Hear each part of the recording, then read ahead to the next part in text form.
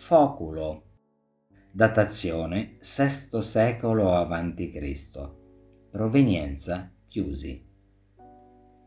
I foculi o braceri, fatti per essere trasportati, potevano essere utilizzati come vassoi contenitori oppure come scaldavivande. Il nostro braciere è completo di coppe, piatti, palette, cucchiai e tavolette pronti per l'uso.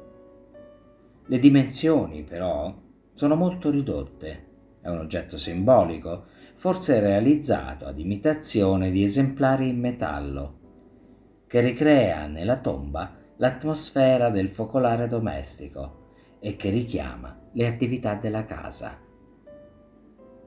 Anche se alcuni focoli provengono da abitati, la maggior parte dei braceri in bucchero è stata rinvenuta nelle tombe.